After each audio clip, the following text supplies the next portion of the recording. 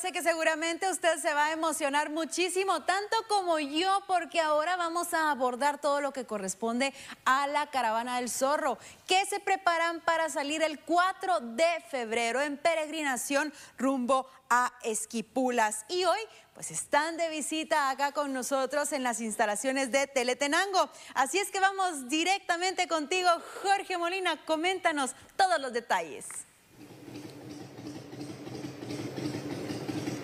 Hola Pili, muchas gracias. Pues sí, ah, saludo cordial para toda la gente de Noticiete. Efectivamente, estamos acá con algunos de los integrantes de la Caravana del Zorro. Esta va a ser la edición número 62 después de dos años de ausencia, 2021-2022, que no se pudo a consecuencia de la pandemia. Mi amigo, Eddie Villadeleón, ¿cómo estás viejito? Qué gusto saludarte nuevamente. Jorge, buenos días. La verdad que nos complace muchísimo estar nuevamente compartiendo con los amigos televidentes y sobre todo pues eh, iniciando o reiniciando esta peregrinación como bien lo dijiste, dos años de suspensión, pero más que todo por respeto y consideración de los, eh, de los oros eh, eh, que nos acompañan como a los amigos de Esquipulas.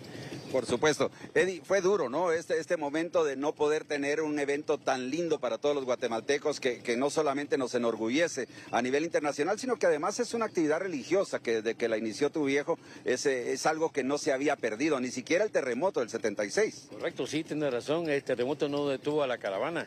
Y sí, definitivamente fue eh, bastante desanimante, por decirte de esa forma, eh, no eh, tener esas dos ediciones. Pero Estamos con todo el, entusiasmo, con todas las ganas. Ya muchas personas están preparando ya sus máquinas, están listos para salir el 4 de febrero. Bueno, y incluso muchos eh, pasamos eh, por momentos difíciles, incluyéndote, mi querido Eddie, que en algún momento nos preocupaste mucho, estabas, eh, también fuiste afectado por el COVID. Pues mira, Jorge, la verdad es que como cualquier humano estamos expuestos a este problema. Afortunadamente, pues ya tenemos los medios de, curación, digamos, manera. Me puse en manos de médicos y yo creo que aquí estamos nuevamente listos para salir. Digo que platicábamos con los muchachos y me decían, hay peligro de que se salve, a lo duro que se le di. no, la verdad que, ya como dicen que la mala, la mala ayuda no muere, ¿no? Más sin embargo, Jorge, eh, el, estar aquí contigo, eh, tener la oportunidad de dirigirme a tantas personas, a miles de personas, pues yo creo que esto me da mucho más eh, entusiasmo y más ánimos para seguir con este proyecto. ¿Qué se tiene preparado para este año, mi querida Eddie? Jorge, lamentablemente, lo digo lamentablemente y desafortunadamente por lo mismo de dos años de que estuvimos inactivos, pues esperamos que en, esta edición tengamos, recibamos ya las solicitudes para que el año entrante, ya en el transcurso del año entrante, eh, sigamos con los proyectos de las escuelas. Ah, bueno, eso, es importante porque también ha sido parte de la historia de la caravana, ¿no? Así es, así es, Jorge. Yo creo que eh, el apoyo de tantos zorros peregrinos nos ha hecho facilitar tantos proyectos. Digamos, tenemos ya casi 12 años con esta esa promoción, digamos, esta iniciativa. Iniciativa, sí. Y eh, yo creo que lo más importante es darle gracias al señor Esquipulas que nos permite nuevamente eh, llevar a miles de, de peregrinos y sobre todo pues eh, compartir con muchos amigos y personas ahí en Esquipulas que también están ilusionados y preparándose para recibirnos. Por supuesto. Bueno, me dijo tu doctor que no hiciera mucho que hablaras, así que voy a platicar un ratito aquí con Julito, Julito Pérez. Julio, ¿cómo está preparándose todo para esta, esta caravana, el, eh, el retornar a las carreteras? Pues gracias, Jorgito. La verdad es de que nosotros muy contentos, muy felices de poder retomar esta 62 edición. Como todos los zorros peregrinos saben, pues estuvimos dos años eh, que con pandemia y eso pues limitó la, la, llegada a, Esquipulas, pero estamos eh, pues siguiendo todas las normas de seguridad. También tenemos un despliegue bastante complejo en lo que es eh, todas las instituciones involucradas en el en este evento y ya estamos ya ya, ya tenemos el protocolo, ya lo tenemos en nuestras manos, ya se fue a presentar a Conred. Entonces, ahorita ya solo para activar ya este viernes 3 eh, y ya el sábado 4 para poder salir hacia Esquipulas, que yo sé que los esquipultecos pues están esperándonos con los brazos abiertos, ¿verdad, Jorgito? Y cientos de motoristas, miles de motoristas a nivel centroamericano y de otras nacionalidades. ¿Cómo pueden hacer para, para integrarse oficialmente a la caravana del zorro, que esto tampoco es que sea restringido, puede ir cualquiera que, que lo desee, siempre y cuando se les recomienda que respeten todas las normas de seguridad sanitaria y de seguridad vial. Pero aparte, hay gente que quiere integrarse oficialmente a la caravana, ¿cómo lo pueden hacer? Pues, eh, eh, Jorgito, la verdad es de que nosotros lo que esperamos pues es la participación de los zorros peregrinos, ellos lo que tienen que hacer es llegar al Parque Central, la salida es a las 7 de la mañana, por ende tienen que estar unas, les recomendamos unas dos horas antes para poder salir todos en caravana. Ya los señores de la PMT de, Guatemala también están apoyándonos para que podamos eh, hacerlo de manera ordenada y que todos podamos salir y disfrutar de esta caravana y esta peregrinación, ¿verdad, Jorgito? Solo tienen que llegar y poder hacerlo. También podemos eh, adquirir eh, la playera conmemorativa de este año, ¿verdad? Que, que otra vez se mandaron, ¿verdad? sí, eh, el artista es Fish y esta, esta playera está plasmada porque sabemos que la caravana es internacional, sabemos de que es de los zorros peregrinos y que, eh, quiero dar un dato, la verdad que el dato interesante de este año plasmada aquí es de que somos la caravana de peregrinación en motocicleta más grande del mundo. Entonces, por ende, tenemos que sentirnos orgullosos de ser chapines, de ser guatemaltecos y también eh, plasmamos eh, las banderas que tenemos alrededor, pero te soy sincero, eh, aquí tenemos a nuestros hermanos centroamericanos, mexicanos, pero también tenemos de todo el mundo. Esa caravana ha sido internacional y vienen peregrinos de Asia, vienen peregrinos de Norteamérica, vienen peregrinos de Suramérica. Entonces es la caravana de peregrinación más grande del mundo y la tercera de aglutinamiento de motos, ¿verdad, Jorge? Así es, así es. Y, además es eh, eh, un patrimonio intangible de, los guatemaltecos. Algo que me llama la atención es que el nuevo diseño ya no trae al grupo compacto, sino que vienen eh, respetando el distanciamiento. Eso es algo también atractivo, ¿no? Claro, claro, pues nosotros queriendo ser respetuosos de, las normas de sanidad que marcaron este, estos dos años, ¿verdad, Jorgito? Y como también año con año tenemos nuestro parche El parche. que ahí tengo. sí, sí, eh, eh, es que estos son coleccionables, eh, para contarle a la gente.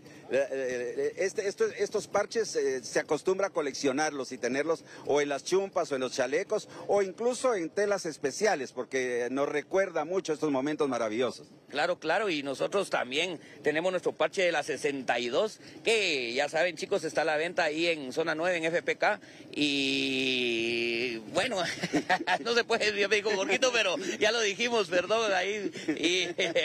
ya me metiste gol. A ver, Tito, dejemos a Julio mejor, Tito, Tito, González. Ah, muchas gracias, Julito. Te lo agradezco mucho. bueno, no, disculpa ahí el, Ahora ya me la debe. No, hay que pasar la cuenta. Hay que pasar la factura. ¿Cómo estás, Tito? ¿Cómo se están preparando? Bien, pues bien, gracias a Dios estamos bien, bien, muy bien. Gracias a todos los, los que hemos estado participando en la organización, apoyando a Eddie. Y pues lo más importante creo yo que es eh, la seguridad que vamos a manejar. Yo te cuento que ayer tuvimos eh, la Noche del Zorro, que fue todo un éxito. Ahí estuvo uno de los canales de ustedes eh, transmitiendo. Y pues se le dio la oportunidad a los compañeros que por su trabajo no pueden estar en actividades de las 5 de la tarde a las 8 de la noche. Se dieron cupones de, de servicios gratis, ofertas, regalos y todo esto y esto pues anima mucho a nuestros compañeros. Aparte de eso, te cuento que el, voluntariado, el cual yo presido, voluntariado de educación vial de Provial, ya está activado, son más de 200 motociclistas los que van a ir ya con su, con su brazalete bien identificados.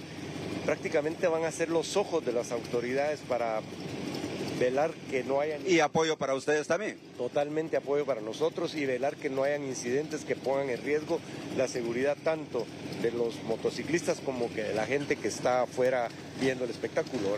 ¿Cuántos zorros peregrinos se esperan para este año 2023, considerando que durante dos años no se pudo realizar? Fíjate Jorge que nosotros la estimación está arriba de 70 mil motociclistas circulando por la carretera. Bueno, y ustedes se dieron cuenta, el eh, primer sábado de febrero de los dos años anteriores, aunque no existiera la peregrinación como tal, la iniciada por, por uh, don Rubén Villa de León, Aún así, mucha gente partió ese sábado con rumbo hacia Esquipulas. O sea, esto quiere decir que ya lo, traemos en las venas, ¿no? Sí, definitivamente hay mucha efervescencia, hay mucha inquietud. El parque vehicular en estos dos años que no hubo nada subió increíblemente en la cantidad de motos que se vendieron. Y, y muchos de esos motoristas, mucha ilusión es ir a la caravana.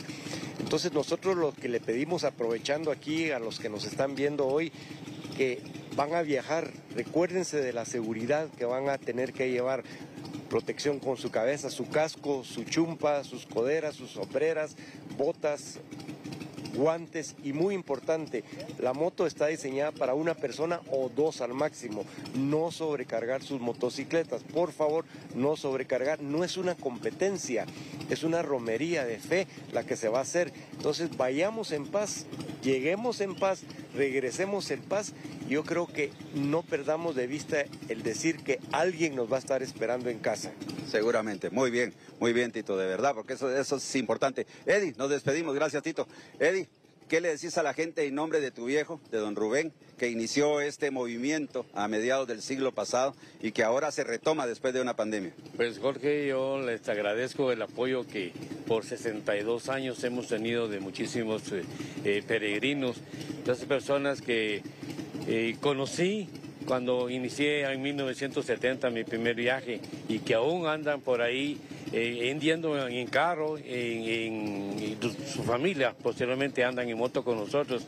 Les agradezco de corazón, sobre todo eh, el cariño que han demostrado porque siempre cuando nos reunimos, pues mi papá sale eh, en la plática y tiene muy buenos recuerdos y buenas opiniones de él. Don Rubén de León, y con tres amigos, cuatro amigos, el primer sábado de febrero inició esta peregrinación que ahora tiene cientos de miles. Próximo sábado, 4 de febrero, nosotros estaremos transmitiéndole a todos ustedes a través de Noti 7 desde la Plaza de la Constitución, desde las 6 de la mañana, la salida de esta peregrinación en su edición número 62, la Caravana del Zorro. Eddie, muchas gracias, muchas gracias muchachos por estar acá desde temprano. Gracias Jorge, muy amable por la oportunidad y pues como siempre, un saludo para ti en lo personal y a todos los los eh, televidentes, les deseamos buena suerte, éxitos y prosperidad en este año. Nos vemos en carretera. Esta es la caravana del zorro. Vuelvo con ustedes. ¡Zorros! Jorge. Qué lindo, qué lindo de verdad, qué efusivo.